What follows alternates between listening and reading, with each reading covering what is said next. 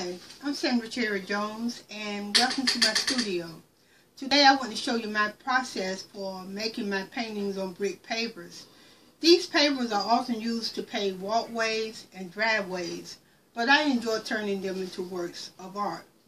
And here are just a few of the paintings on bricks that I've done. And so um, let's get started. As you notice, the, the the brick has uh, rough edges and so what I do first is to smooth the edges out. So I do this with my hammer. I do a few taps around all the way around the brick and um, to smooth them out. And when I have them as smooth as I like for them to be, then I rinse them out, uh, rinse them with water and let them dry. The next step is to add my um, primer. I use a, a white water-based primer. And I usually put about seven to eight layers of primer because my goal is to get the brick as smooth as possible because I like to put a lot of details into my work.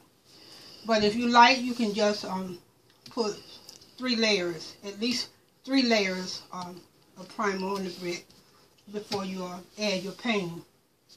Okay, um, the next step, and this brick here is almost uh, finished. I'm just going to add a few things. And uh, once it's finished, I'll sign it, put my name and the year of completion. And so I use different kinds of paint. Sometimes I use uh, tube paints and then uh, at other times I use bottle paints. And I, I use different types of uh, primer, I mean uh, different types of uh, um, a gloss to seal the paint.